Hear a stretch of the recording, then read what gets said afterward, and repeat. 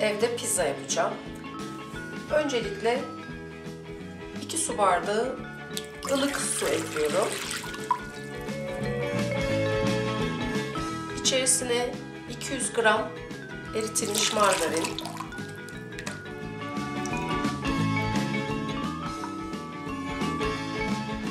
Ee, içerisine 2 tatlı kaşığı toz şeker, 2 tatlı kaşığı tuz ekledim. Silme olacak bunlar.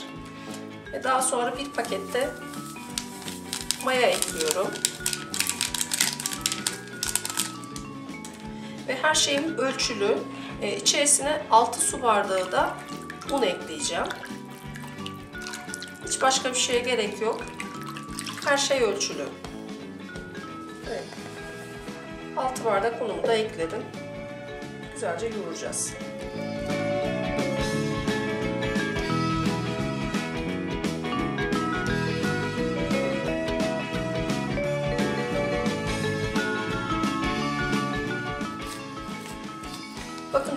Güzelce yoğruldu. Ele yapışmayan bir hamur.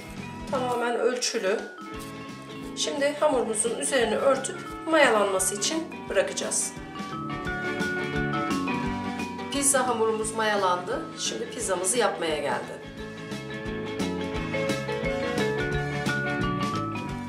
Bakın hamurumuz güzelce kabardı. Şimdi bu iki tepsilik olacak. Ee, o yüzden hamurumuzu ikiye böleceğim.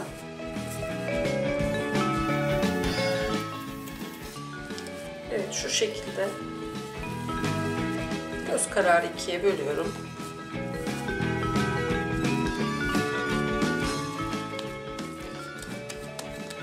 Şimdi büyük bir tepsiye bir beze hamur yapacağım böyle. Tepsimi yağlamıyorum. Çünkü hamurum zaten yağlıydı. Onun yağı yeterlidir. Bu şekilde tepsime elimle aça aça ya da oklavayla da yapabilirsiniz. Nasıl isterseniz.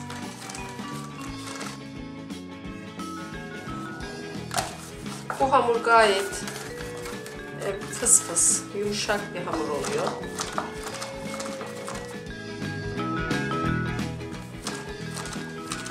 Tepsinin altını yağladığım zaman hamurum kayıyor. Bakın şu an yağlamadan yapınca tepsi güzelce tutuyor hamuru.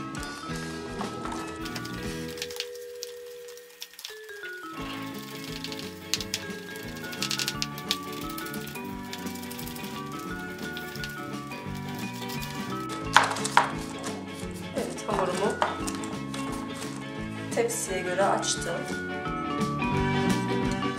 Şimdi salçasını süreceğim.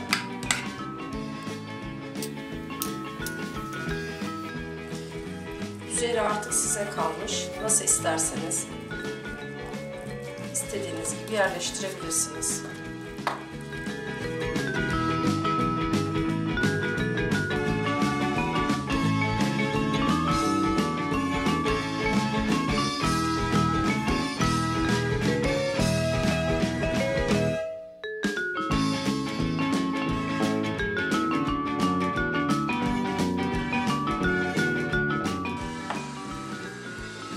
Pizzamız hazırdır. Önceden ısıttığımız 220 derecelik fırına sürebiliriz.